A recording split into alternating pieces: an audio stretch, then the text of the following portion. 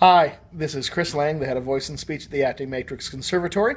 If you come to class tonight, we're going to be doing some more Fitzmaurice voice work, some destructuring. That's the process where we break down all your habits that get in your way as an actor and we free your impulsive, instinctual self.